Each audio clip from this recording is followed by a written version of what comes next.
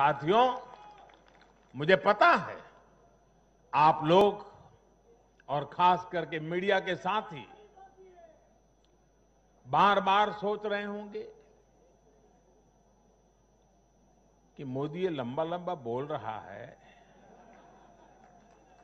लेकिन बिहार पर भी तो कुछ बोलूँ। बिहार पर भी जरा विस्तार से बात करूँ। बिहार तो सबसे खास है। अगर आज आप मुझे बिहार के चुनाव नतीजों के बारे में पूछेंगे तो मेरा जवाब भी जनता के जनादेश जनादेश की तरफ़। जैसे बिहार की जनता ने जनादेश दिया है, जितना साफ़ सुथरा जनादेश दिया है, मेरा जवाब भी उतना ही साफ़ है। और मेरा जवाब है, चुनाव जीतने का एक ही रहस्य है, सबका साथ, सबका विकास, सबका विश्वास। इस मंत्र की जीत हुई है। बिहार में विकास के कार्यों की जीत हुई है। बिहार में सच जीता है।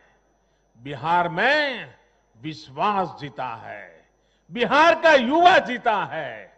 बिहार की माताएँ, बहनें, बेटियाँ जीती हैं।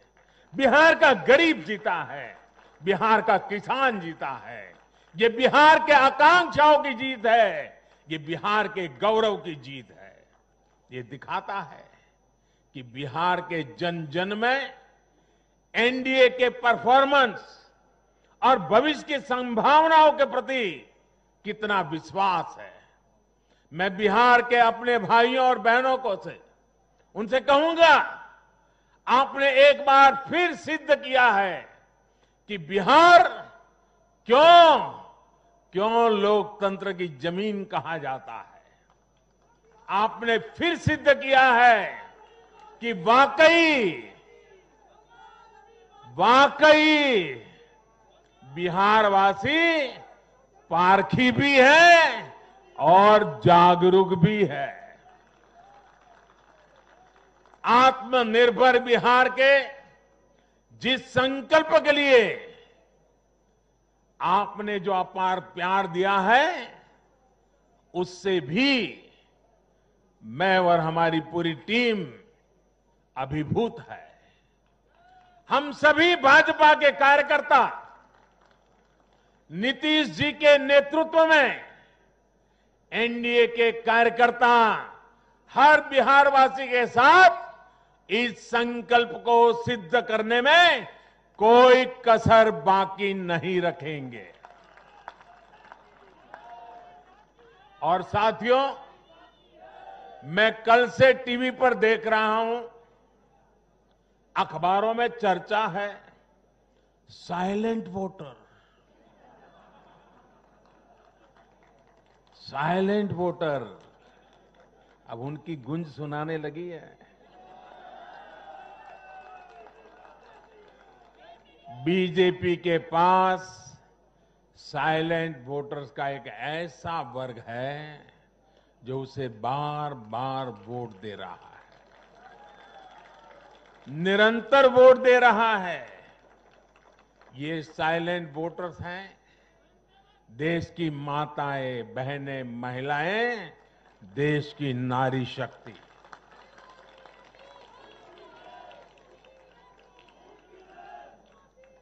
ग्रामीण इलाकों से लेकर शहरी इलाकों तक महिला वोटर ही भाजपा की सबसे बड़ी साइलेंट वोटर का समूह बन गया है। आखिर ऐसा क्यों है? क्योंकि ये भाजपा ही है जिसके शासन में महिलाओं को सम्मान भी मिलता है और सुरक्षा भी मिलती बैंक अकाउंट से लेकर बैंक लोन तक। गर्भावस्था के दौरान मुफ़्त जाँच से लेकर छह महीने के अवकाश तक रसोई को धुएँ से मुक्त करना हो या फिर शौचालयों का निर्माण। एक रुपये में सैनिटरी पैड की सुविधा हो या हर घर बिजली पहुंचाना हो या फिर हर घर जल के लिए अभियान हो। ये बीजेपी ही है जो भारत की महिलाओं के जीवन स्तर को सुधारने के लिए उम्र के हर पड़ाव को देखते हुए विशेष प्रयास कर रही है।